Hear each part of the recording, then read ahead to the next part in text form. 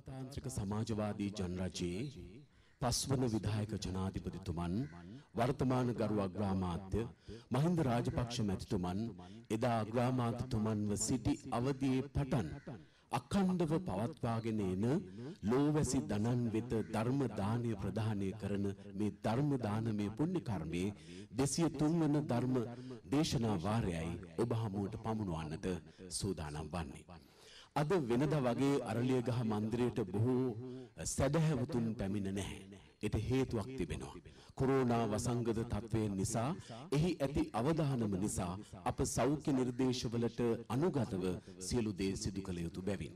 එනිසා අද දවසේ ගරු අග්‍රාමාත්‍ය මහින්ද රාජපක්ෂ මැතිතුමන් ශිරන්තී වික්‍රමසිංහ රාජපක්ෂ මැතිනිය එවැගේම අග්‍රාමාත්‍ය කාර්ය මණ්ඩල ප්‍රධානී යෝෂිත රාජපක්ෂ මැතිතුමන් ඇතුළු පවුලේ සමීපතමයන් කිහිප දෙනෙකුගේ සහභාගීත්වයෙන් අරලියගහ මන්දිරේ ගරු අග්‍රාමාත්‍යතුමන් විසින් 2005 මාර්තු මාස 23 වන දින එදා මැදින්පුර පසළොස්වක පොහෝ දින රෝපණය කරන්නට යෙදුණු බෝධීන් වහන්සේ අභියස සිට අප මේ සදහම් වර්ෂාවේ සදහම් දේශනා වාරයේ 203 වන වාරය ඔබ හමුවට පමුණවන්නටයි සූදානම් වන්නේ. එසේනම් ගරු අග්‍රාමාත්‍ය මහින්ද රාජපක්ෂ මැතිතුමන්ට බොහොම ගෞරවයෙන් අප ආරාධනා කරමු බුදුන් වහන්සේ උදෙසා මල් පූජා කොට මේ වැඩ ඉන්න බෝධීන් වහන්සේ උදෙසා මල් පූජා කොට ආගමික වතාවත් ඉටු කර ඉන් අනතුරුව අද ධර්මදේශකයාණන් වහන්සේට දැහැත් වට්ටියක් පූජා කොට ධර්මදේශනය සඳහා ආරාධනා කරන්නට කියා. එතුමන් විසින් එදා දෙදස් පහේ මැදින්පුර පසළොස්සක පොහෝ දින රෝපණය කරන්නට යෙදුණු බෝධි අංකුරය අද විසල් බෝ සෙවනක් බවට පත්වෙලා. එතුමා කණ්ඩවම මේ බෝධීන් වහන්සේ උදෙසා ආගමික වතාවත්තේ චාරිත්‍රයන්හි යෙදුණා. පහන් දල්වා එතුමන් විසින් බෝධීන් වහන්සේට බුදුන් වහන්සේට තම පූජාවන් සිදු කර දැන් සූදානම් වෙන්නේ විශේෂ යෙන් සකස් කරන ලද නිර්මාණය කරන ලද අඩි 6ක් උස මුතු පබළු වලින් අලංකාරිත කරඬුවක් මොරටුව සත් කරඬු නදිනී හේවරත්න මහත්මිය විසින් නිර්මාණය කරලා තිබෙනවා. එය ගරු අග්‍රාමාත්‍යතුමන්ගේ උපන්දිනය නිමිති කොටගෙන ඓතිහාසික සෝමාවතී පාරිශුද්ධ පුණ්‍ය භූමිය වෙත පූජා කිරීම සඳහායි නිර්මාණය කොට තිබෙන්නේ. ඒ උදෙසාත් ගරු අග්‍රාමාත්‍යතුමන් මල් පූජා කළා. දැන් අද ධර්මදේශකයන්න් වහන්සේට දැහැත් වට්ටියක් පූජා කොට ධර්මදේශනය සඳහා එතුමන් ආරාධනා කළා. සුපින්වත්නි 203 වන අමාදම් සිසිලස ධර්මදේශනා වාරයේ අද ධර්මදේශකයන්න් වහන්සේ මහනුවර අලුත්ගම ගම්මන්තලාව පුරාණ විහාරවාසී මයිලපිටිය මහ අනද සෙනසුනේ අනුශාසක ගෞරව ශාස්ත්‍රවේදී අවසරයි පූජ්‍ය අලුත්ගම පඤ්ඤාසාර ස්වාමින් වහන්සේ අප සියලු දෙනා සාදුකාර පවත්වා උන්වහන්සේට ධර්මදේශනය සඳහා ආරාධනා කරමු. අවසරයි ස්වාමින් වහන්සේ. සියලු දෙනාම සද්ධර්ම ශ්‍රවණයට ප්‍රථම තිසරණ සහිත පන්සිල් සමාදන් වීම සඳහා තෙවරක් নমස්කාරය කියමු.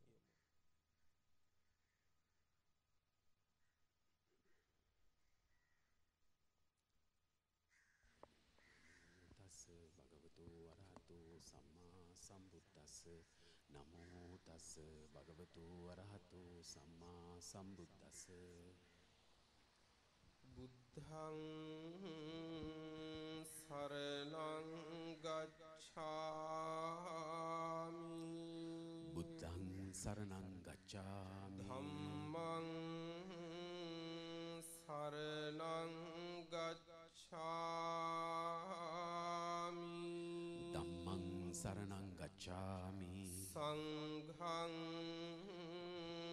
සරණං ගච්ඡාමි.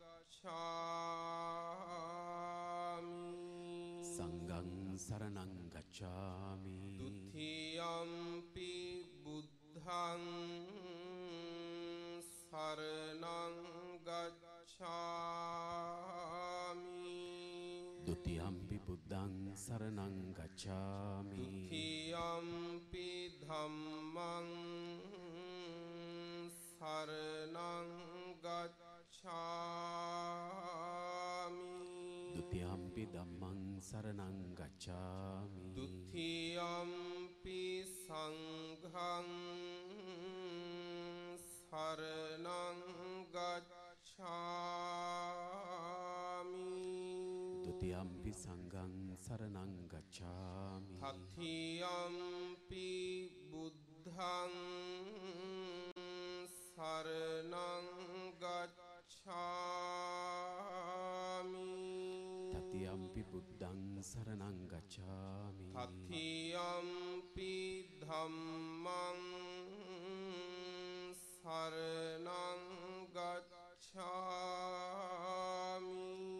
තතියම්පි ධම්මං සරණං ගච්ඡාමි. තතියම්පි සංඝං සරණං ගච්ඡාමි. තතියම්පි සංඝං සරණං ගච්ඡාමි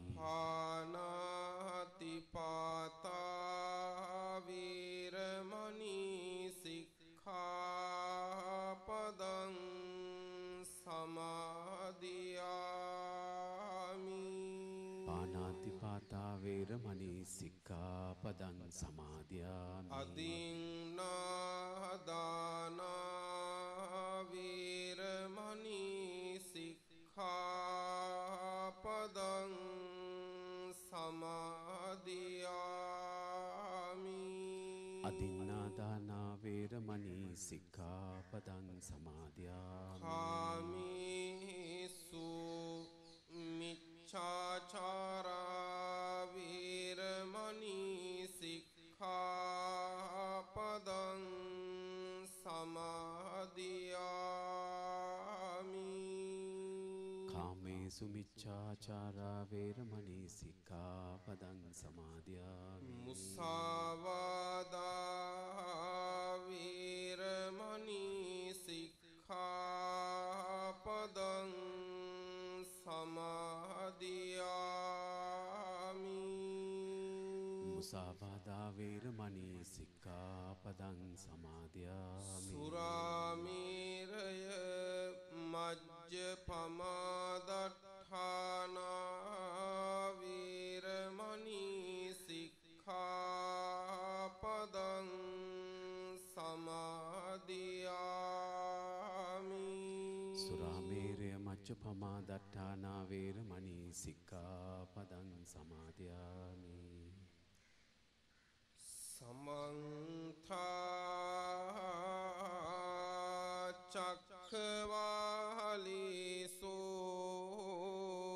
චක්ඛවාලීසෝ අත්‍රා ගච්ඡන්තු දේවතා සද්දම්මං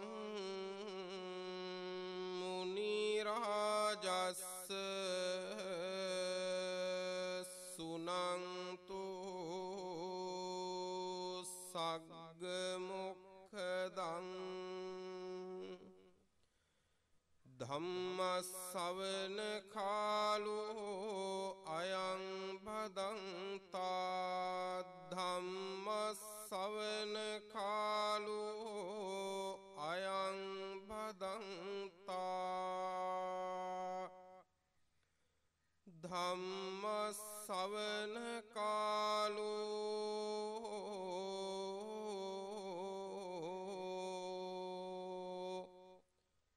අයං භදන්තා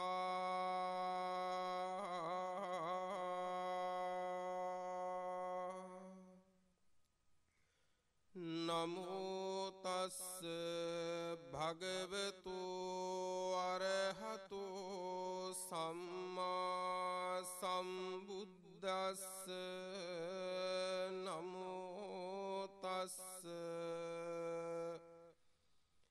භගවතු අරහතු සම්මා සම්බුද්දස්ස.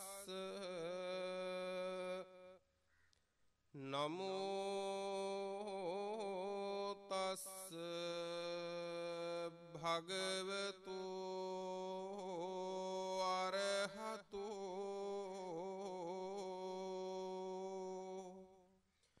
සම්මා සම්බුද්ධස්ස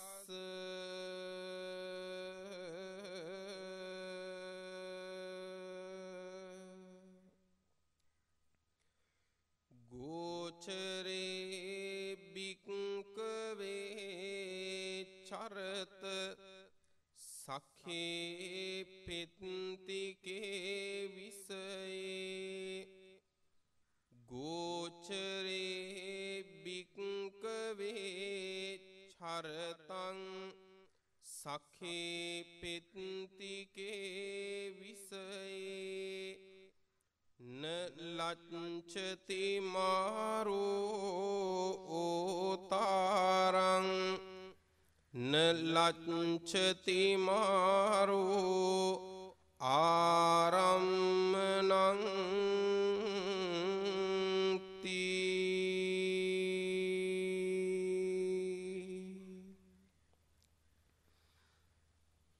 සදාවන්දනීය වූ ගෞරවනීය මහා සංඝරත්නයෙන් අවසරයි.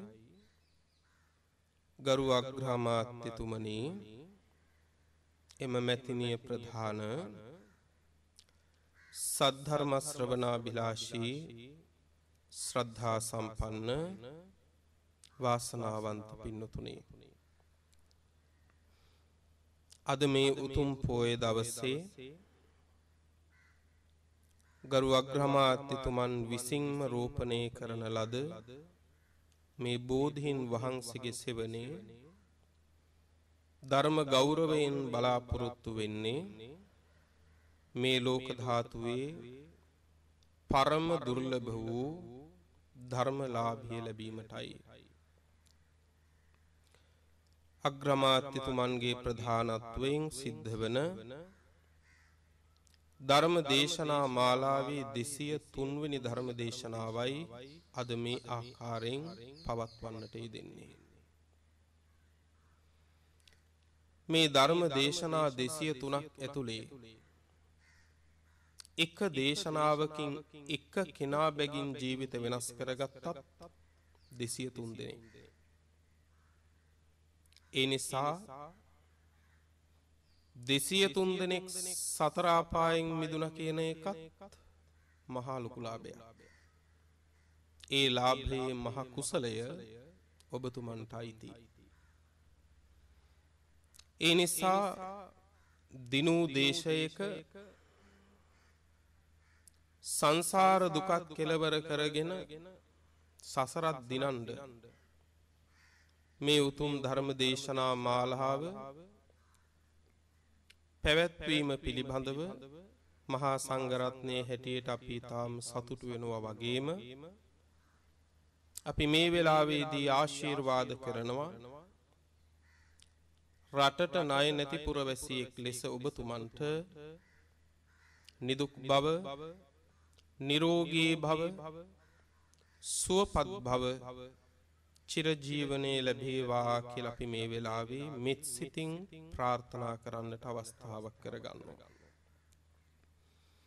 සෑම සියලු දෙනාටම සුවසේම උතුම් ධර්මාවබෝධය පිණිස මේ ධර්මශ්‍රවණය හේතු වේවා කියන ප්‍රාර්ථනාවන් හිත් තුළ තබාගෙන පින්නතුනේ සියලු දෙනාම දැන් ගෞරවයෙන් ධර්මශ්‍රවණය කරමු.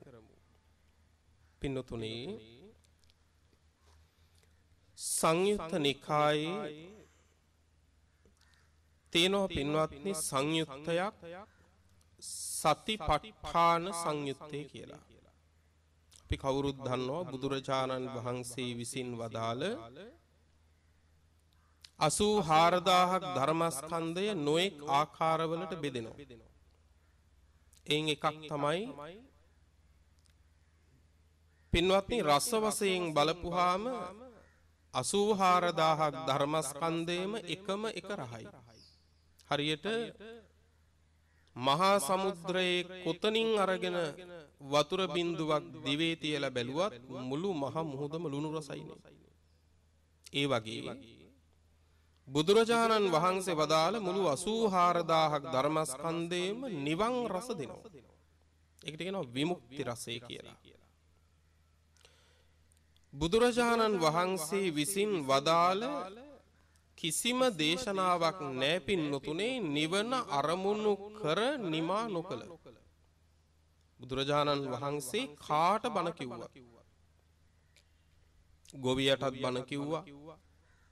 වෙලහෙන දාම් කරන එකටත් අවවාද කළා. ඒ විතරක් නෙවෙයි පින්වත්නි ඇමතිවරුන්ටත් බණ කිව්ව රට පාලනය කරන අයටත් බණ කිව්ව හැබැයි හැම දේශනාවක්ම නිවන කෙලවර කරගෙන තමයි බුදුරජාණන් වහන්සේ නිමා කරන්නේ ඒ දේශනාව නිවන අරමුණු කරගෙනයි පවතිනවා.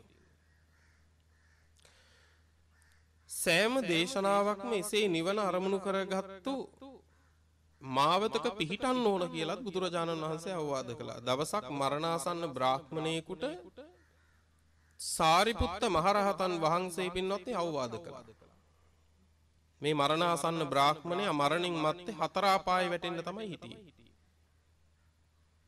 සාරිපුත්ත මහරහතන් වහන්සේ කියන්නේ මේ සම්බුද්ධ ශාසනයේ දෙවැනියා ප්‍රඥාවන්ත භික්ෂූන් අතර අග්‍රයි ඒ ප්‍රඥාව දෙවැනි වෙන්නේ තථාගත බුදුරජාණන් වහන්සේට විතරයි. සාරිපුත්ත මහරහතන් වහන්සේ නිකං කෙනෙක් නෙවෙයි බුදුරජාණන් වහන්සේ වදාළ ධර්මය ඒ අනුවම පවත්වන ධර්ම සේනාධීපති. සාරිපුත්තයන් වහන්සේ පින්වත්නි මේ බ්‍රාහ්මණයාගේ හිත හතරාපායෙන් ගැලෙව්වා. බ්‍රාහ්මණය නිරයේ දුක බොහොම දරුණුයි ඒ නිරේට වඩා නම් තිරිසන් ලෝකෙ හොඳයි කිව්වා. ඊළඟට නිරයත් එක්ක සාපේක්ෂව තිරිසං ලෝකෙ වර්ණනා කරලා තිරිසං ලෝකය ඊළඟට පින්වත්නි කිව්වා තිරිසං ලෝකෙ දුකට වඩා හොඳයි പ്രേත ලෝකේ.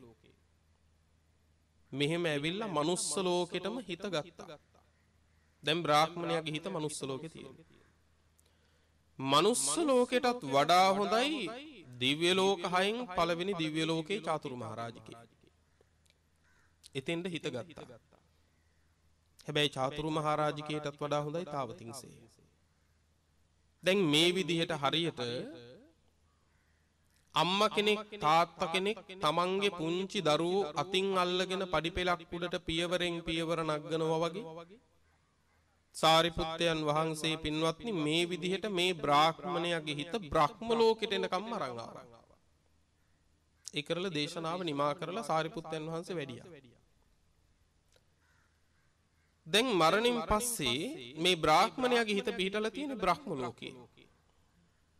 සාරිපුත්තයන් වහන්සේ ආපහු වැඩියට පස්සේ බුදුරජාණන් වහන්සේ මොකක්ද ඇහුවේ? සාරිපුත්ත අර මිනිස්සයව මග දාලාව නේද කියලා ඇහුවා.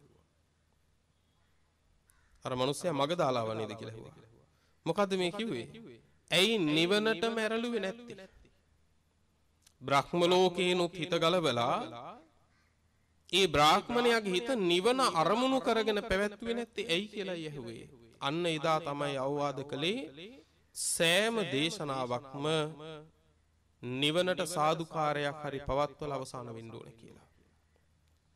එතකොට බුදුරජාණන් වහන්සේ වදාළ සෑම ධර්මයක්ම ඒ නිසා පින්වත්නි නිවන් රසයෙන් යුතුයි. ධර්ම විනය වශයෙන් ආකාර දෙකකට බෙදෙනවා. පිටක වශයෙන් තිවිදං තුන් ආකාරයකට බෙදෙනවා. නිකාය වශයෙන් පංචවිදං. නිකාය විදිහට පස් ආකාරයකට බෙදෙනවා. දීඝ නිකාය, මජ්ක්‍ධිම නිකාය ආදී විදිහට. ඒ නිකාය පහෙන් එකක් තමයි පින්නතුනේ සංයුක්ත නිකාය.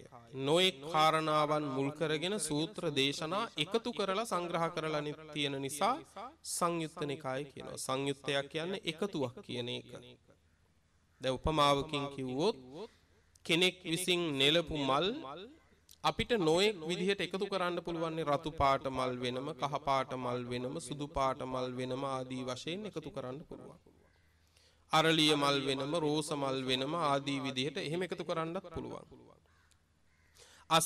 අසවලා විසින් නෙලපු මල් මේවා අරය විසින් නෙලපු මල් මේවා කියලා එහෙම වෙන් කරන්නත් පුළුවන්. මේ නොයෙක් ආකාරවලින් එකතු කරලා සංග්‍රහ කරලා තියෙන නිසා පින්වත්නි සංයුත්ත නිකාය කියලා කියනවා. එහි එක සංයුත්තයක් තියෙනවා සතිපට්ඨාන සංයුත්තය. සතර සතිපට්ඨානය පිළිබඳව තමයි බුදුරජාණන් වහන්සේ මේ දේශනා දේශනා කළේ. එහි පළවෙනිම වර්ගයේ තමයි අම්බපාලී වර්ගය. එහි සූත්‍රයක් තියෙනවා සක්කු නග්හී කියලා සූත්‍රයක්. සක්කු නග්හී සූත්‍රය. පින්වත්න කැටකුරුල්ලෙක් හිටිය. කැටකුරුල්ලෙක් කියලා කියන්නේ කාරණා දෙකක් නිසා එකක් තමයි මේ කැටකුරුල්ල කියන සතා හරි පුංචි. ඉතාම පුංචි.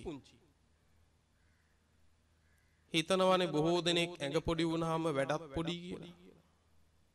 මේ කැටකුරුල්ලත් හරි පුංචි. අනික තමයි කැටකුරුල්ල කියලා කියන්න හේතුව තමයි මේ කැටකුරුල්ලගේ වාසස්ථානය තියෙන තැන අනුව තමයි කැටකුරුල්ල කිව්වේ. වාසස්ථානය තමයි පින්නතුනේ නගුලකින් කුඹුර හානකොට නගුල් තලයට අහු වෙලා පස්පිඩැල්ල අනිත් පැත්ත පෙරලෙනවනේ.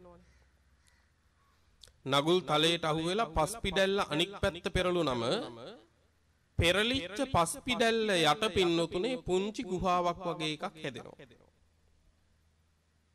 අන්න ඒක යට තමයි පින්නතුනේ මේ කුරුල්ලා ඉන්නේ. පස් කැටයක් යට. ඒ නිසා කැටකුරුල්ලා කියනවා. දවසක් මේ කැටකුරුල්ලා පස් කැටෙන් එළියට ඇවිල්ලා හිටගත්ත පස් කැටේ උඩ පස් කැටේ උඩ හිටගෙන මේ විවෘත ආකාශය දිහා දවසක් බැලුවා. ටිකක් තරුණ පහේ කැටකුරුල්ලේ. මේ කැටකුරුල්ල පස් කැටේ උඩ හිටගෙන ආකාශය දිහා බලලා කල්පනා කරනවා අනේ ඇත්තට අපිට වෙලා තියෙන දේ. මෙච්චර නිරවුල් මෙච්චර විවෘත අහසක් තියෙද්දී මං ඉන්නවනේ මේ පස් කැටයක් අස්සට වෙලා. මේ ආකාශය ඉගිලෙනව නම් කොහෙ කොහෙ ඉගිලෙන්න බැයිද? මොකද වැටක් තියෙනවා කියලා. වැටක් නැහැ, මායිමක් නැහැ, සීමාවක් නැහැ. සීමාවක් නැති ආකාශයක මට ඉගිලෙන්න පුළුවන්කම තියෙද්දී මම මොකට මේ පස් කැටයක් අස්සට වෙලා ඉන්නවද? අපේ පරපුරෙන්ම අපිව මේ පස් කැටේ අස්සේ හිර කරලානේ තියෙන්නේ කියලා දැන් තමන්ගේ දෙමව්පියෝ අත්තමුත්තගෙන පවා කැටකුරුල්ලට තියෙන්නේ බලවත් අප්‍රසාදයක්. කලකිරීමක්. මොකද මෙච්චර අහසක් තියෙද්දි පස් කැටයක් අස්සේ මාව හිර කළා. මෙච්චර නිදහසේ ලස්සන සුව විඳින්න තියෙද්දිනේ මේ පස් කැටේ අස්සේ අපි හිර වුණේ. ලෝකේ කවදත් හැටි තමයි නොගියපු තැන්වල පින්නතුනේ ලස්සන පේන්නේ ඉන්න තැන්වල දොස් පිනිපෙනීනේ. නේද? ඕනම ගඟක් ගොඩ ඉඳලා බලනකොට හරි ලස්සනයි. බැහැලා බලන්න ඕන ඒකේ අරුමය. බොහෝ දෙනෙක් ජීවිතේ ඕනම දෙයකට මේක ගලපලා බලන්න බලන්න. ඕනම දෙයකට පින්වත්නි ගොඩ ඉඳලා බලනකොට හරි හැඩයි. හරි ලස්සනයි. හරි ප්‍රණීතයි. බහිනකං හදිස්සි බැස්සට පස්සේ තමයි තේරෙන්නේ ඒකේ අරුබේ. එතකොට දැන් පින්වත්නි අර කැටකුරුල්ලටත් හිතනවා මොන කරුමයක්ද මේ පස් කැටේ අස්සේ ගෙවන්නේ? මේක මෙලොව වැඩක් ඇති තැනක් නෙවෙයි. තමන් මෙච්චර කාලයක් ජීවත් වෙච්ච තමන්ගේ පිය පරපුර තමන්ගේ මව් පරපුර ජීවත් වෙච්ච පස් කැටයේ දොස් දැක දැක දැක දැක දැක දැක නොගියපු ආකාශයක ಗುಣ හොඳ ලස්සන නිදහස මේ පුංචි කැටකුරුල්ලට පේනවා. කැටකුරුල්ල හිතුවා වෙන එකක් උන දෙන් මෙච්චර අහසක් තියෙද්දි මං ඉගිලෙනවා. ආකාශෙත් තියෙනවා නම් මට ඉගිලෙන්න තටුක් තියෙනවා නම් මම මොකටද ඉගිලෙන්නේ නැත්තේ? එහෙම හිතාගත්තු කැටකුරුල්ල දවසක් හරි සතුටින් පින්වත්නි සීමාවක් මායිමක් නැති කිසි තැනක ගැටීමක් නැති ආකාශයට වේගින් නැගුණා. කොහොමටත් පින්නතුනේ පස් කැට අස්සේ ඉඳලා ඉඳලා අහසට නැග්ගම පින්වත්නි කැටකුරුල්ලොන්ට විතරක් නෙවෙයි හැමෝටම සිහිය පත නැති වෙනවා. දැන් කැටකුරුල්ලටත් සිහිය පත නැහැ පින්වත්නි. සිහිය පත නැහැ. ඇයි? අර තටු දෙක එහෙම එහෙ වදිනවා පස් කැටේ යට දැන් එහෙම එකක් නැහැ. සිහියක් පතක් නැතුව ඉන්නේ කොතනද යන්නේ කොතනද හිටියේ කොතනද කියලා මතක නැතුව පින්නතුනේ ඉගිලෙන්න පටන් ගත්ත ඔළුව හැරිච්ච හැරිච්ච අතේ. කිසිම උපද්‍රවයක් නැහැ කියලා තමයි දැන් තේරෙන්නේ. හිතූ මනාපිට ඉගිලිලා ඉගිලිලා පුදුම සතුටක් ජීවිතයේ මෙහෙම සතුටක් ආස්වාදයක් මේ කැටකුරුල්ල විඳලම නැහැ. වේගෙන් ඉගිලිලා යනකොට පින්නතුනේ නොහිතපු කරදරයක පැටලුණා මොකද්ද ආකාසේ බලය පතුරුවන අය ඉන්නවා. ආකාසේ බලය පතුරුවන මහ විශාල උකුස්සෙක් පින්නතුනේ අල්ලගත්ත මේ පුංචි කැටකුරුල්ල. දැන් තේරෙන්නේ එක දෙයයි. අපරාධි මං ආකාශයට ආවේ පස් කැටයට හිටියනම් මේ විපත්තිය මේ විපත්තිය නැහැ. දැන් කැටකුරුල්ල විලාප තියෙනවා. අනේ අපි හිටියෙත් පස් කැටාස්සේ අපිට කරන්න පුළුවන් දේකුත් නැහැ. අපිමයි කාලකන්නියෝ අපිමයි පව්කාරයෝ. අපිට තමයි අත්තට තිබුණත් ඉගිලෙන්න බැරි කියලා දැන් පින්වත්නි බොහෝම විලාප තියෙනවා. ශෝක කරනවා කම්පා වෙනවා තැවෙනවා. ඒ ගමම්ම එකක් කිව්වා කැටකුරුල්ල මොකක්ද අපරාධේ මගේ පියාගෙන් මට ලැබිච්ච තැන මං හිටියනම් මේ උකුස්සට මාවල්ලන්න හම්බෙන්නේ නැහැ කිව්වා. උකුස්සා බැලුවා උකුස්සත් ටිකක් තමන්ගේ බලයෙන් මත් වෙලා ඉඳපු කෙනෙක්. උකුස්සා බැලුවා මේ පුංචි කැටකුරුල්ල දැන් කියනවා මේ මේ පියාගේ උරුමෙන් ලැබිච්ච තැන හිටියනම් මගෙන් මට අහුවෙන්නේ නැහැ කියලා. මට අල්ලන්න බැරි ඔය තැන කොතනද? හොඳයි නුඹේ පියාගේ තැන මොකද්ද කියලා ඇහුවා. කැටකුරුල්ල කිව්වා මගේ පියාගෙන් මට ලැබිච්ච තැන තමයි කිව්වා අර පල්ලෙහා පේන කුඹුරේ පස් කැටය යට. අන්නේ පස් කැටේ තමයි මගේ පියාගෙන් මට ලැබිච්ච තැන එතන හිටියනම් නුඹට මාව අල්ලන්න හම්බෙන්නේ නැහැ කිව්වා. කියනකොටම උකුස්සා කල්පනා කළා මේකගේ ඇඟේ හැටියට නෙවෙයිනේ කට. පුංචි කැටකුරුල්ලා උකුස්සත් මත් වෙලා හිටිය උකුස්ස කිව්වා එහෙමද? හොඳයි එහෙනම් මන් දැන් අතාරින්නම්. පුළුවන් නම් බේරිලා බලපන් කිව්වා. පුළුවන් නම් බේරියන් කියලා අත්හැරලා බැලුවා. අතෑරපු ගමන් පින්නතුනේ පුංචි කැටකුරුල්ලා මරණ බයත් එක්කනේ. වේගෙන් ඇවිල්ලා පින්නතුනේ හිටගත්ත පස් කැටේ උඩ. දැන් තමන්ගේ තැනට ඇවිල්ලා. පස් කැටේ උඩට ඇවිල්ලා දැන් අභියෝග කරනවා ආකාශයේ ඉන්න උකුස්සට. ආ දැන් පුළුවන් නම් වරෙන්. දැන් මම මගේ තැනට ආවා මගේ මගේ පියාගේ උරුමෙන් ලැබිච්ච තැනට මං ආවා. දැන් පුළුවන් නම් වරෙන් කියලා අභියෝග කරනවා පින්වත්නි තමන් අර ආකාශයේ ඉන්න උකුස්සට උකුස්ස හිතුවා ඉතින් ඔතෙන්ද ගියත් මගෙන් නම් බේරෙන්නේ මගෙන් බේරෙන්නේ නැහැ. උකුස්ස හොඳට තටු දෙක හදාගෙන ඊතලයක් විද්ද වගේ වේගෙන් පින්නතුනේ බැස්ස පහලට කැටකුරුල් අල්ලන්න. ලං වෙනකන් හිටිය ලං වෙනකන් හිටිය කැටකුරුල්ල පස් කැටේ උඩ ළඟටම එනකන් ඉඳලා ඔන්න මෙන්න කියනකොටම පින්නතුනේ සිහින් ශරීරයක් තියෙන පුංචි කැටකුරුල්ලා රිංගුව පස් කැටේ යටට උකුස්සත් මත් වෙලා හිටියේ මත් වෙච්ච අය හුඟක් එනවා වේගෙ වැඩි. ආපු වේගෙට බ්‍රේක් කරගන්න උකුස්සට බැරි වුණා. ආපු වේගෙන්ම නවත්ත ගන්න බැරි වෙච්ච උකුස්ස පින්නතුනේ වැදුනා පස් කැටේ උඩ. පස් කැටේ උඩ වැදිලා පපුව පැලිලා උකුස්සා එතනම මැරුණා බුදුරජාණන් වහන්සේ මෙන්න මේ පුංචි කතාව අරගෙන අපිට ලොකු බණක් කියනවා. බුදුරජාණන් වහන්සේ අපිටත් අවවාද කළා ගෝචරේ භික්කවේ සකේ ගෝචරේ භික්කවේ චරත සකේ පෙත්තිකේ විසයේ මහණෙනි නිතන මහණෙනි කියලා බුදුරජාණන් වහන්සේ ආමන්ත්‍රණය කළේ ස්වාමීන් වහන්සේලා විතරක් නෙවෙයි බුදුන් සරණ ගිය සියලු ශ්‍රාවකයන්ට උන්වහන්සේ අවවාද කරනවා තථාගතයන් වහන්සේගේ ශ්‍රාවකයෝ නම් ඒ ශ්‍රාවකයෝ තථාගතයන් වහන්සේ නැමැති පියාගේ විෂය පතේ ඉන්දුවන කියලා. අපි හැමෝටම භික්ෂුවක් වෙච්ච මට තියෙනවා පින්නතුනේ පියාගේ උරුමෙන් ලැබිච්ච මගේ විෂය පතය. ඒ විෂයපතය තමයි භික්ෂුවක් හැටියට මට තියෙන රැකවරණය තියෙනම ස්ථානය. වෙන කිසි තැනක ඒ රැකවරණය නැහැ. එද මොන රැකවරණ හේතුවක් පින්වත්නි භික්ෂුවක් හැටියට බුදුහාමුදුරුවන්ගේ ශාසනයේ මට තියෙන ඒ රැකවරණේ එතනමයි තියෙන්නේ වෙන කිසි තැනක නැහැ. ඒ වගේම තමයි ඔබ හැම කෙනෙකුටම තියෙනවා තෙරුවන් සරණ ගියා නම් පන්සිල් සමාදන් වුණා නම් ඔබේ විෂය ඒක ඔබේ සීමාව ඒක. එතන තමයි ඔබට රැකවරණේ තියෙන්නේ. එතනින් ඉක්ම ගිය තැන සැනසීමද වෙනසීමද? වෙනසීමමයි. ඒ කාන්තෙන් වෙනසීම. ඇයි? තමන්ගේ පියාගේ විෂය ඉක්මෙව්වා. තමන්ගේ සීමාව. බුදුරජාණන් වහන්සේ මේක දේශනා කළා තමන්ගේ විෂයපතේ තමන්ගේ පියාගේ උරුමෙන් ලැබිච්ච තැන ඉන්න.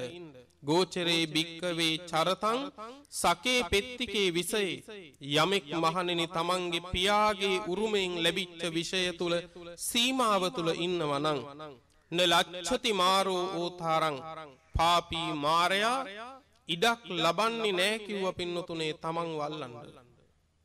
නලච්ඡති මාරූ ආරම්මනං පාපී මාරය අරමුණක් ලබන්නේ කිව්ව නුඹ වල්ලන්න. බුදුරජාණන් වහන්සේ පියාගේ සීමාව හැටියට මෙතනදී ගම්බීර අර්ථයෙන් දේශනා කළේ සතර සතිපට්ඨානය පිළිබඳව.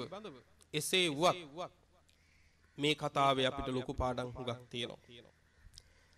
පළවෙනිම දේ තමයි අපිට තියෙනවා අපේ පිය පරපුරෙන් ලැබිච්ච රැකවරණයට තැනක් අපිත් පුංචි කැටකුරුල්ලු.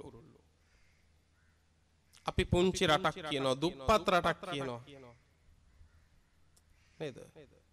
හැබැයි අපි දුප්පත්කම් මනින්නේ කොතනින්ද කියන ප්‍රශ්නේ තියෙනවා. පෝසත්කම් මනින්නේ කොතනින්ද කියන ප්‍රශ්නේ තියෙනවා. අපි කැටකුරුල්ලෝ වගේ ලෝකේ ඉස්සරහා පේනවා තමයි ලෝකේ මහලොකු රටවල් තියෙනවා. මහලොකු රටවල් ඉස්සරහා පින්වත්නි සිටියම විශාල කරලා බැලුවොත් තමයි පින්වත්නි ලංකාව පේන්නේ කැටකුරුල්ලෙක් වගේ. හැබැයි කැටකුරුල්ලන්ටත් පුළුවන් උකුස්සන්ට අභියෝග කරන්න. අපි නෙවෙයි වදාලේ බුදුරජාණන් වහන්සේ. උකුස්සන්ටත් අභියෝග කරන්න පුළුවන්. හැබැයි මේ කියන්නේ උකුස්සන්ව පරද්දන්න කියන එක නෙවෙයි. දැන් අපිට ජයග්‍රහණය ගැන කතා කරන්න බෑනේ පින්වත්නි තවත් කෙනෙකුගේ පරාජය ගැන කතා නොකර අද කාලේ. ලෝකේ හැමෝම ජයග්‍රහණය කියන වචන ගැන කතා කරන්නෙම පෙරදිච්ච කෙනා කියන කෙනාව මනසේ තියාගෙන. ඒ කියන්නේ අද ලෝකය දන්නේ නැහැ තවත් කෙනෙක් පරද්දන්න නැතිව Taman දිනන්නේ කොහොමද කියලා. අපි හිතන් ඉන්නේ මං දිනනවා කියලා කියන්නේම තව කෙනෙක් පරදිනවා කියන එක කියලා. එහෙම එකක් නැහැ. එහෙම එකක් නැහැ. බුදුහාමුදුරුව වදාලානේ ජයං වේරං පසවති දුක්ඛං සේති පරාජිතෝ උපසන්තෝ සුඛං සේති හිත්වා ජය පරාජය. ජයං වේරං පසවති දිනපු අය තරමක් විතර ද්වේෂයකින් තමයි ඉන්නේ. නේද? මේ කියන්නේ අනුන් පරද්දලා දිනපු අය. දුක්ඛං සේති පරාජිතෝ පෙරදිච්ච අය දුකකින් තමයි ඉන්නේ. හැබැයි උපසන්තෝ සුඛං සේති ජය පරාජය දෙකම අත්තරපු කෙනා සුවසේ ඉන්නවා කිව්වා. ජයත් පරාජයත් දෙකම අතහැරලා. එතකොට මේ ලෝකේ අනුන් පරද්දන්නේ නැතිව තමන්ට ලබන්න පුළුවන් ජයග්‍රහණයක් තියෙනවා. දැන් උදාහරණයකට හිතන්නකෝ මේ ධර්මාසනයේ බණ කියන මම මම ඔබව පරද්දලද නැද්ද කියලා ඇහුවොත්? ඔබට දෙන්න තියෙන උත්තරය මොකක්ද? මම ඔබව පරද්දලද නැද්ද?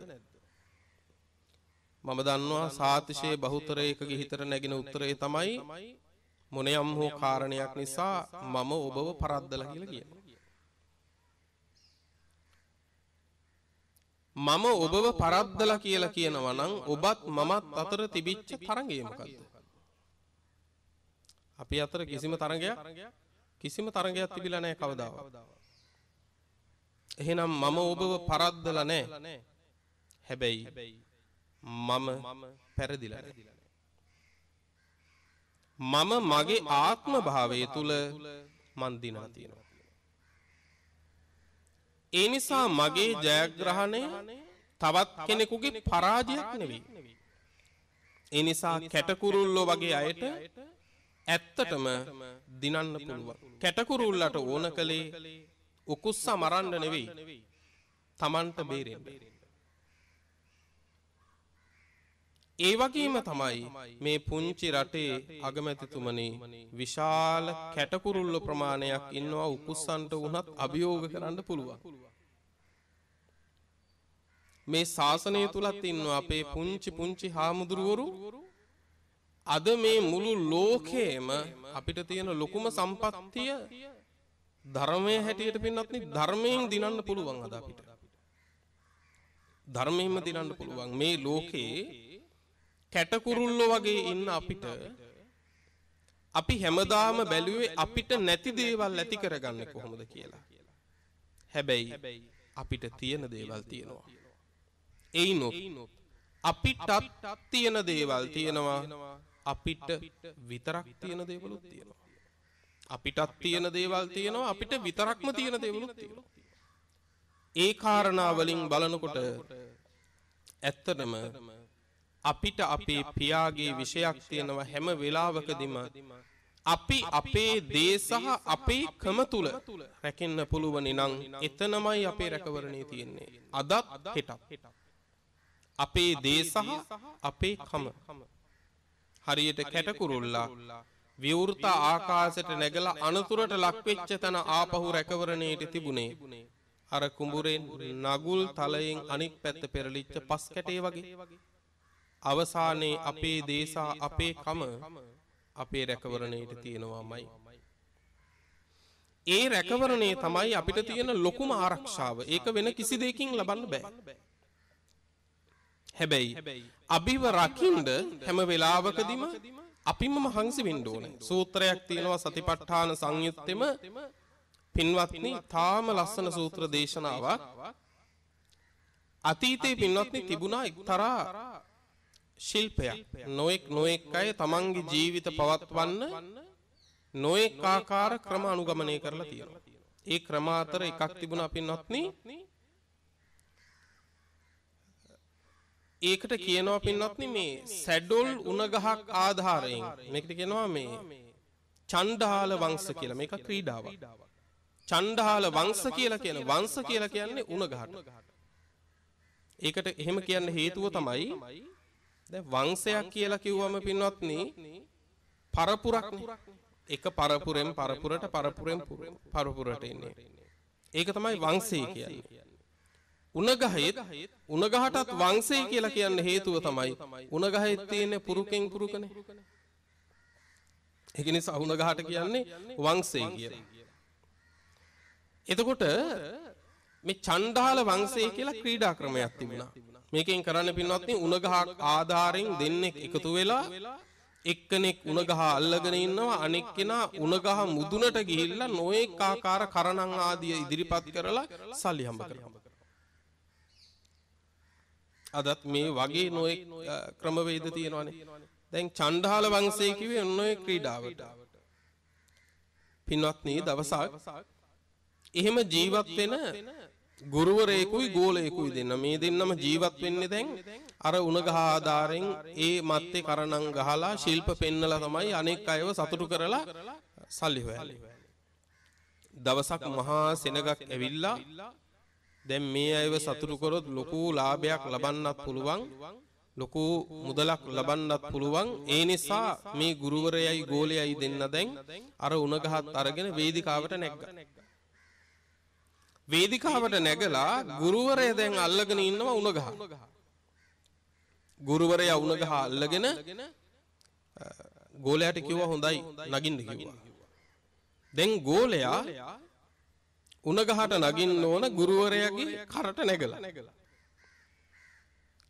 ගුරුවරයාගේ කරට නැගලා උණගහට නගිනකොට ගුරුවරයා කිව්වා යාළුවා දැන් අපි දෙන්නට ලොකු වැඩක් තියෙනවා.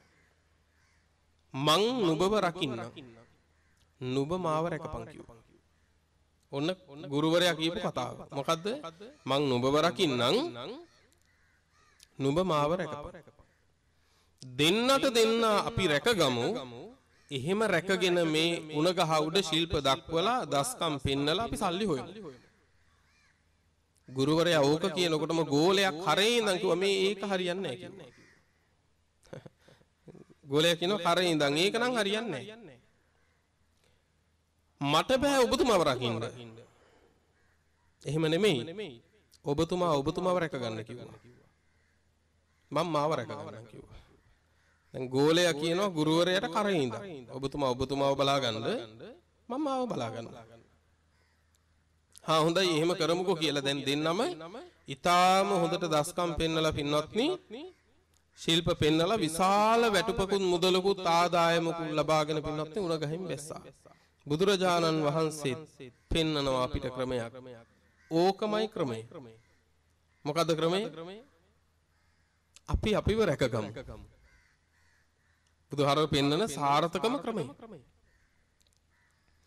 අපි හැමෝම තම තමන්ව රැක ගන්න ඕන පින්වත්නි.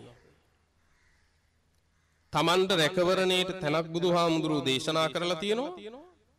එය හැම වෙලාවකදීම තමන්ගේ සීමාව, තමන්ගේ මායිම, තමන්ගේ ප්‍රමාණය, තමන්ගේ වපසරිය මම මේ කිව්වේ ධර්මයේ තුලින් තමන්ට සීලයක් වෙත්නම්, තමන්ට ගුණයක් වෙත්නම්, තමන්ට යම්කිසි සංස්කෘතික රාමුවක් වේනම් ධර්මයෙන් වෙච්ච යම් රාමුවක් වේනම් ඒක තමයි අපි සීමාව. ඒ සීමාව තුල ඉඳලා අනුන් රකින්න නම් තමන් කළ යුතු පළවෙනි දේ තමයි තමන් රකින්න ඕන. තමන් නොරකින්න කිසි කෙනෙකුට අනුන් රකින්න බෑ. බුදුරජාණන් වහන්සේ පෙන්නනවා තමන් රැකීමෙන් මයි අනුන් රකින්න පුළුවන් අනුන් රැකීම තුලත් තමන් රැකීමක් තියෙනවා. ඒ කොහොමද? දැන් තමන් රැකීමෙන් කොහොමද අනුන් රකින්නේ? අපි හිතමු බුදුහාර මේකට පෙන්වනවා කර්මස්ථාන වැඩිවීමෙන් කියලා. කර්මස්ථාන වැඩිවීම කියලා කියන්නේ අපි හිතමු යම් කිසි කෙනෙක් මෛත්‍රිය වඩනවා. එහෙමත් නැත්නම් මරණ සතිය වඩනවා කියලා කියන්නේ මැරෙන බව සිහි කරනවා. අපි කොහොමත් මැරෙන එක කොහොමත් මැරෙන එක ඒ මැරෙන එක සිහි කරපුවාම කොච්චර ලාභ තියෙනවද? කොහොමත් අපිට මැරෙන්න වෙනවා. කොහොමත් මැරෙන එක මෙනෙහි කරාම මහා කුසල් තියෙනවා. එය දානාදී සියලු බබගාමී කුසල් ඉක්මවන තරම් කුසලයක්. කොහොමත් තියෙන මරණය මෙනෙහි කරන එක. දැන් මරණය ගැන මෙනෙහි කරනවා නම් යම්කිසි කෙනෙක් අනුන් නසයිද මොන හේතුවෙන්වත් තමන් මැරෙන බව සිහි කරන කෙනෙක් තවන්ගේ අනුන් කෙනෙක් තවත් කෙනෙකුගේ ජීවිතයක් නැති කරයි. තවත් කෙනෙක්ගේ දෙයක් පැහැර ගනීද? තවත් කෙනෙකුට හිංසා පීඩා කරයිද? නෑ. තමන් මරණය ගැන මෙනෙහි කිරීමෙන් රැකගත්තා. එසේ රැක ගැනීම තුලින් අනෙක් සත්වයාගේ දේ සහ අනෙක් සත්වයා රකින්න. ඊළඟ ක්‍රමේ තමයි අනුන් රැකීමෙන් තමන්ව රැක ගන්න ක්‍රමයකුත් තියෙනවා. ඒ කොහොමද? එකක් තමයි මෛත්‍රී කරනවා. එහෙම නැත්නම් ඉවසනවා. දැන් කෙනෙක් අපිට බනිනවා. කෙනෙක් අපිට දොස් නගනවා. හිතන්න එපා මොන වෙලාවෙවත් වැරදි කරලා නම් අපිට බැන්නත් කමන්නේ කියලා. මේ ලෝකේ බැනුම් ඇහුවේ වැරදි කරපු මිනිස්සු විතරක් නෙවෙයි. හොඳ වැඩි වුණාමත් මිනිස්සු බනිනවා. හොඳ වැඩි වුණාමත් මිනිස්සු බනිනවා. පින්වත්නි නරක කාලෙට ගුණවන්තයෝ දොස් කියනවා. හොඳ කාලෙට හොඳ කාලෙක හොඳ කාලෙකට පවිටු මිනිස්සු දොස් කියනවා. නේද? සිල් ගන්න උපාසකම්මලටත් බයිනවා. ඔය සිල් ගත්තට අපි දන්නේ නැතේ කියලා එහෙම හරි බනිනවා. ඒ හැටි නරක කාලෙට ගුණවන්තයෝ දොස් කියනවා. හොඳ කාලෙට පාපී මිනිස්සු දොස් කියනවා. ඒ නිසා නින්දාව කියන එක මහා පරණ වැඩක්. පුරාණ මේ තන් අතුල මේක පරණ වැඩක් අලුත් වැඩක් නෙවෙයි. රහසින්වත් පව් නොකළ බුදුරජාණන් වහන්සේට ධර්මිට බඩේ බැඳගෙන ඇවිල්ලා පින්වත් නින්දා කළානේ. කරලා නෙමෙයිනේ. කරලා නෙමෙයි. හැබැයි දැන් අපි කියනවා ওই කතාව දැනගත්තට කරලා නම් බැන්නත් කමන්නේ කියලා. ඒ කියන්නේ අපේ අඩුව තියෙන්නේ බැනුමට සුදුසු දේ නොකරපු එක කියලා ඒ කියමනින් කියන්නේ. නේද? අපි නොකර නම් බනින්නේ කම්පා වෙන්න ඕන කමක් නැහැ. කිසිම කම්පාවක් නැහැ. මොකද නිවැරදි මිනිස්සුන්ට කරන චෝදනාවට ආයුෂ තියෙන්නේ බොහෝම ටික කාලයයි පින්නත්. බොහොම ටික කාලයක්.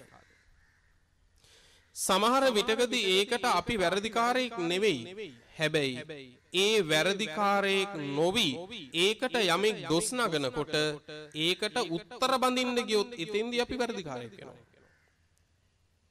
ඒ දක්වන ප්‍රතිචාරය අනුව එතන ඉඳලා අපි වැරදිකාරයෙක් වෙන්න පුළුවන්.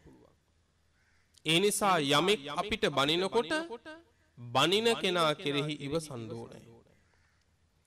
දොස් නගන කෙනා කෙරෙහි ඉවසන්න ඕනේ. ඉවසීම තුලින් ඔහුගේ ජීවිතේ රැකෙනවා. ඔහුගේ ජීවිතය එක භවයකින් රැකෙනකොට ඔහු මැරුවා නම් අපි හතර අපායේ. ඔහුගේ බැනුම ඉදිරියේ ඉවසීමෙන් අපි අපිව බේරගන්නේ සතර අපායට වැටෙන්න නොදී. දැන් පේනව නේද බැලූ බැල්මට අනුන්ව රැකලා තියෙන්නේ. හැබැයි සැබවින්ම රැකගෙන තියෙන්නේ කවුද? තමන්. තමන්ව තමයි රැකගෙන තියෙන්නේ. සමහර අවස්ථාවන් වලදී අපි අනුන් කෙරෙහි ඉවසන එකමයි තමන්ට තියෙන ජයග්‍රහණයට කාරණය. තමන් රැකගන්නවා කියන්නේ ඒකමයි පින්වත්නි. බුදුරජාණන් වහන්සේ පින්නුවේ ඒකනේ. තමන්ව දිනා ගැනීමම තමයි මේ ලෝකයේ අසීරුම දේ. අමාරුම දේ ඒක. ලෝකෙ මිනිස්සු අපිට හරියට දොස් නගයි. හැබැයි ඔබතුමා ඇතුළු අපි හැමෝම අපේ ජීවිත හදාගන්න ඕනේ. ලෝකෙ කවුරු දොස් කිව්වත් මම මට දොස් කියා ගන්න නැති ආත්ම භාවයක් පරිහරණය කළා කියලා. අපි ලෝකයා ඉස්සරහ නිවැරදි වෙන්න ඕනේ හැම වෙලාවෙම. හැබැයි අපි අපේ ජීවිතය තුල පෙරදිච්ච නැති කෙනෙක් වෙන්න ඕනේ. ලෝකේ කවුරු අපිට සාප කළත් පරිස්සම් වෙන්න ඕන කෙටි ජීවිතයේ එක දෙයකට මැරෙන වෙලාව වෙනකොට මට මං ගැන සාප කරගෙන නම් මැරෙන්න බෑ කියලා. ලෝකෙ කවුරු අපිට දෙස් දෙවොල් තිබ්බත් මැරෙන්න වෙලාවක් එනවා මැරෙන වෙලාවේ මම මට දෙස් දෙවොල් තියාගෙන මැරෙන ආත්මයක් නම් මට පරිහරණය කරන්න බෑ. වැදගත්ම කාරණය කෙනෙක්ව අපි කෙනෙක් අපිට දොස් කිව්වා කියලා අපි අපාගත වෙයිද? නෑනේ පින්වත් නේද? අනේ අපායෙම යන්න ඕන හොඳක් නම් වෙන්න එපා කියලා දොස් කියලා ඉන්නවා. හැබැයි එහෙම කළා කියලා ඒ අය එහෙම කිව්වා කියලා අපි අපායේ යයිද? එහෙම අපාගත වෙන්නේ නැහැ. දැන් තවත් සමහරු කියනවා අපිට නැති ಗುಣ පවා කිය කිය පින්වත්නි වර්ණනා කරන හැත් ඉන්නවනේ. නේ සමහර වෙලාවකදී තියෙන්නේ ಗುಣ 100ක් නම් 100 1000ක් කරලා වර්ණනා කරනවා අපි ඉස්සරහ. හැබැයි අපි එකක් තේරුම් ගන්න ඕන කවුරු මොන වර්ණනා කළත් අපි ඕකෙන් සුද්ධවන්තයෝ වෙන්නෙත් සුද්ධවන්තයෝ වෙන්නෙත් නැහැ. සුද්ධි අසුද්ධි පච්චත්තං නාඤ්ඤෝ අඤ්ඤං විසුද්ධේ. පිරිසිදුකම හරි අපිරිසිදුකම හරි දෙක තීරණය වෙන්නේ අනුන්ගේ වචනවල නෙවෙයි තමන්ගේ වැඩවලින්. එනිසා ඔබතුමන්ට දොස් කියන අයත් ඇති. මේ හැමෝටම දොස් කියන අය ඇති. කම්පා වෙන්න එපා. වර්ණනා කරන අයත් ඒ කාන්තින් ඇති ඒත් කම්පා වෙන්නත් එපා උද්දාම වෙන්නත් එපා මොකද මේ හැම එකක්ම తాවකාලිකයි. හැම එකක්ම తాවකාලිකයි. සියලු දේවල් කෙටි කාලයයි පවතින්නේ. මොනවද? නින්දත් වර්ණනත්. කීර්ති ප්‍රශංසත් ඒ වගේම සැප දුක මේ ඔක්කොම සදාකාලික දේවල් නෙවෙයි. කෙටි කාලයක් අනිත්‍ය අනිත්‍ය දන්න අපි පින්වත්නි දුක වේදනා වෙනකොට හිතන්න ඕන ඕවහුම තමයි. කෙටි කාලයක්නේ. සැපේන කොටත් එතෙන්දිත් හිතන්න ඕන පින්වත්නි ඕවත් ඔහොම තමයි. කෙටි කාලයයිනේ. මේ දෙකම පින්වත්නි කෙටි කාලයයි. හැම වෙලාවෙම පිරිසිදුකම තීරණය වෙන්නේ අනුන්ගේ වචනවලින් නෙවෙයි අපේ වැඩ පිළිවෙලින්. බුදු හාමුදුරුව මේකට උපමාවක් පෙන්නවා. යම් කිසි මනුස්සෙක් ලොකු කළුගලක් දානවා දිය විලකට. වතුර පිරිච්ච දිය විලකට කළුගලක් දාලා දැන් මේ දිය විල වටේ අත් දෙක එකතු කරගෙන වැඳගෙන ප්‍රාර්ථනා කර කර ප්‍රාර්ථනා කර කර දිය විල වටේ ඇවිදිනවා. මොනවා කී කියද අනේ පින්වන්ත කළුගල ගොඩට ඒවා ගොඩට ඒවා ගොඩට ඒවා කියලා විල වටේ ඇවිදිනවා. අර ගල විලට දාලා. බුදුහාමුදුරුව අහනවා මොන හේතුවෙන්වත් මේ කළුගල ගොඩ එයිද කියලා අහනවා. ගොඩ එන්නේ නැහනේ. හේතුව මොකද? කවුරු මොන ප්‍රාර්ථනා කළත් කළු ගලට තියෙන්නේ යට යන ගතිය මිසක උඩ එන ගතිය නෙවෙයි කිව්වා. ඊළඟට කියනවා තවත් මිනිස්සෙක් ගිතෙල් හරි එළඟි තෙල් හරි පුරවපු කලයක් අරගෙන ගිහිල්ලා දියවිලක් යටට දියවිල යටදී මේ කලේ කඩනවා. මොකද වෙන්නේ? කලේ කටු ටික යට යනවා. ගිතෙල් ටික උඩ එනවා. දැන් මිනිස්සෙක් විලවටේ ප්‍රාර්ථනා කර කර යනවා අනේ පින්වන්ත ගිතෙල යට ඒවා යට ඒවා කියලා ප්‍රාර්ථනා කර කර වැඳ වැඳ ඇවිදිනවා විලවටේ. මොන හේතුවෙන්වත් ගිතෙල් යට යයිද? ගිතෙල් යට යන්නේ කිව්වා. ඇයි? ගිතෙල් වලට තියෙන්නේ යට යන ගතිය නෙවෙයි උඩ ඉල්පෙන ගතිය. බුදුහාමුදුරුව වදාලා අන්නේ වගේ තමයි. ලෝකෙ මිනිස්සු අපිට මොනතරම් නරක නපුර කිව්වත් අපේ විනාශය හෝ එහෙමත් නැත්නම් සැනසීම හෝ අපේ සුගතිය හෝ අපේ දුගතිය හෝ තීරණය වෙන්නේ අනුන්ගේ වචන වලින් නෙවෙයි. හැම වෙලාවකදීම ඒ නිසා අපි පරිස්සම් වෙන්න ඕන එකම එක දෙයකට පෙරකී පරිද්දෙන් ලෝකේ කවුරු අපිට මොනවා කිව්වත් මම මට සාප කරගන්න ආත්ම භාවයක් නම් පරිහරණය කරන්නේ කියලා. කවුරු මට නින්දා කළත් මම මට නින්දා කරගන්න ආත්ම භාවයක් නම් පරිහරණය කරගන්නේ කියලා හැම වෙලාවකදීම තමන් තමන්ගේ ජීවිතය ගැන ප්‍රත්‍යවේක්ෂාවක් කරන්න කියනවා. ඒ නිසා පින්වත් අගමැතිතුමනි හැම වෙලාවකදීම පේන්න පුළුවන් අපිට කැටකුරුල්ලෝ කියලා. එහෙත් මහා උකුස්සන්ටත් අභියෝග කරන්න අපි සන්නද්ධ වුණොත් පුළුවන්. ඒ සඳහා අපි අපේ සීමාවන් තුළ ඉඳලා අපි අපේ මායිම් තුළ ඉඳලා අපිට පරපුරෙන් උරුම දේ තුළ රැකිලා අපි එකතු වුණොත් සන්නද්ධ වුණොත් නිසි ක්‍රමවේදයක් හදාගත්තොත් සැබවින්ම අපේ රැකවරණය හදන්න පුළුවන්. ඒ රැකවරණය වෙන කෙනෙකුට නැති කරන්න බෑ. වෙන කෙනෙකුට විනාශ කරන්න බෑ. ඇයි අපි ඒ රැකවරණය හදාගත්තේ? අපේ පිය විෂය තුලින්මයි. පියාගේ සීමාව තුලින්මයි. අපේ දේ තුලින්මයි. ඒ රැකවරණය ඔබතුමත් හදාගෙන මේ රටටත් හදන්න ඔබතුමන්ට කායික මානසික සුවය නිරංතරව ලැබේවා කියලා තෙරුවන් සරණත් දළදා හාමුදුරුවන්ගේ පිහිටත් මේ වෙලාවේදී ප්‍රාර්ථනා කරනවා. එසේ ප්‍රාර්ථනා කරමින් අද මේ උතුම් පොහෝදහා සිද්ධ කළ ධර්ම දේශනාව නිමාවට පත් කරනවා අපි සියලු දෙනාම බුදුරජාණන් වහන්සේ වදාළ බුදුරජාණන් වහන්සේ පනවා වදාළ උන්වහන්සේගේ සීමාව තුල රැකෙන්න පරිස්සම් වෙමු.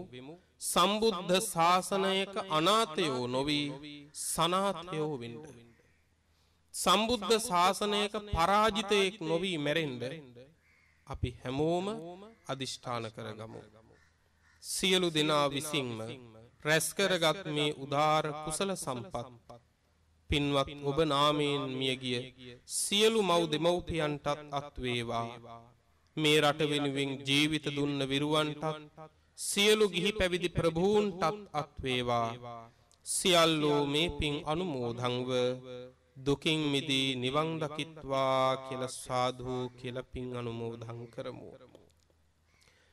අග්‍රමාත්‍යතුමන් එම මැතිනිය ප්‍රධාන කොට ඇති පින්වන්ත සෑම සියලු දෙනාටම නිදුක් නිරෝගී භාවය චිරජීවනයේ සැපජීවනයේ උදා වේවා සියලු දෙනාගේ යහපත් ප්‍රාර්ථනා ඉටු වේවා බුද්ධාදී උතුමන් නිවුණු සැනසුණු අමා මහ නිවන අපටත් මේ කුසල බලයෙන්ම ලැබේවා කියලා සාදු කියලා ප්‍රාර්ථනාවන් ඇති කර ගනිමු.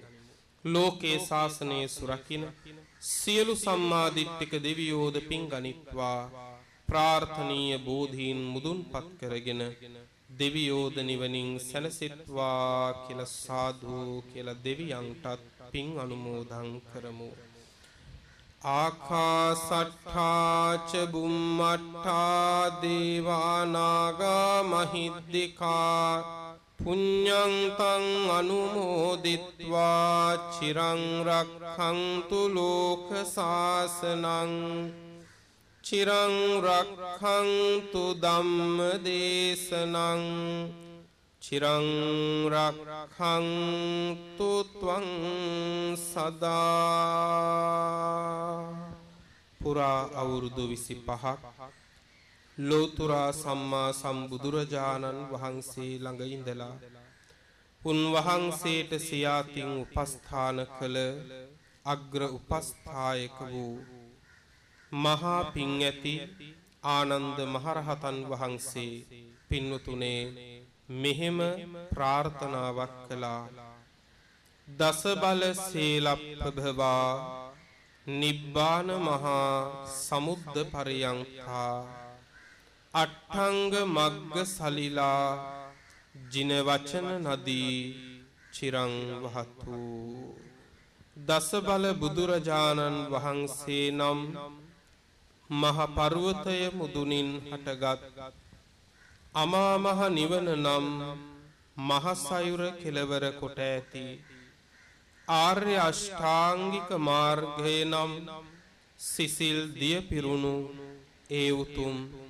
තථාගත බුද්ධ වචනය නම් වූ ගංගාව අපමණ සත්වයින්ගේ අනන්ත සංසාර දුක්ගිනි නිවාලමින් තව බොහෝ කල් ගලා බසීවා සුපින්වත්නි අද පුරපසළොස්වක බොහෝ දින අමා ධම්සෙසස ධර්ම දේශනාව පැවැත්වුවේ මහනුවර අලුත්ගම ගම්බන්තලාව පුරාණ විහාරවාසී මල්ලපිටිය මහ අනද සෙනසුනේ අනුශාසක ගෞරව ශාස්ත්‍රවේදී අවසරයි. අලුත්ගම පඤ්ඤාසාර ස්වාමින් වහන්සේට ගරු අග්‍රාමාත්‍යතුමන් පිරිකර පූජා කිරීමට එක්වන අවස්ථාව. සාදු සාදු සාදු.